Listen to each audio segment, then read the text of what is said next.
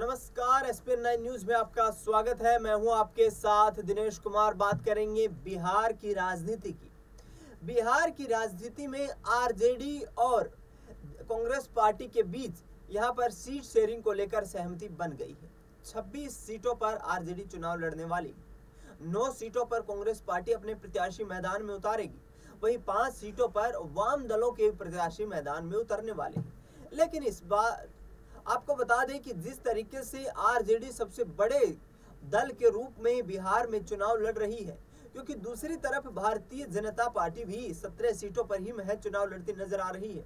ऐसे में आरजेडी की कोशिशें हैं कि 26 सीटों पर चुनाव लड़ रही पार्टी कम से कम 50 फ़ीसदी सीटों पर जीत दर्ज करे। ऐसे में जिस तरीके से जो खबरें सामने आ रही हैं बिहार की सारण सीट से लालू प्रसाद यादव ने अपनी बेटी रोहिणी आचार्य को मैदान में उतारने का फैसला किया है। उसके बाद जिस तरीके से तेज, तेज प्रताप यादव की तबीयत पिछले दिनों खराब हुई थी उनका हालचाल जानने के लिए उनकी पत्नी ऐश्वर्या राय अस्पताल पहुँची थी और लगातार तेजस्वी यादव के उत्तम स्वास्थ्य की कामना करती हुई नज़र आ रही थी। ऐसे में अब लालू परिवार तेज प्रताप यादव की पत्नी ऐश्वर्या राय को चुनावी मैदान में उतारने पर बड़ा फैसला लेने वाला है।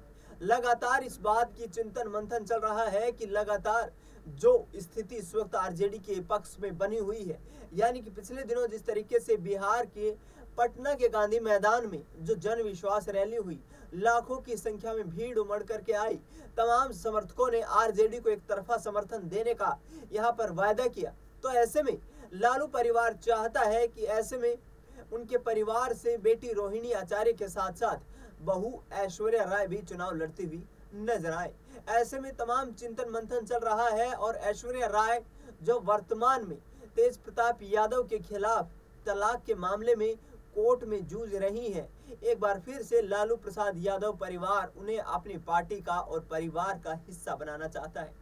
आपको बता दें कि जिस तरीके से तेज प्रताप यादव की पिछले दिनों स्वास्थ्य स्थिति में कुछ गड़बड़ी आई थी। उसके बाद जिस तरीके से उनकी पत्नी ने लालू परिवार से मुलाकात की, परिवार से मुलाकात करने के बाद वे काफ़ी खुश नज़र आई और ऐसे में राबड़ी देवी ने उम्मीद जताई कि आने वाले वक्त में ऐश्वर्या राय हमारे साथ मिलकर ही हमारे परिवार को आगे चलाएँगी। अब देखना ये होगा कि क्या लालू परिवार यहाँ पर बड़ी बहू ऐश्वर्या राय को मैदान में उतारेगा, क्योंकि जिस तरीके से बिहार में लालू प्रसाद यादव का सियासी आधार है, उस आधार का फ़ायदा उठाने के लिए आरजेडी इस कोशिश को करती हुई यहाँ पर देखी जा सकती है और बीजेपी के लिए यहाँ पर मुश्किलें खड़ी हो सकती हैं। फ़िलहाल इस खबर में इतना ही। देश दुनिया की तमाम बड़ी खबरों के लिए आप देखते रहिए एस पी न्यूज़।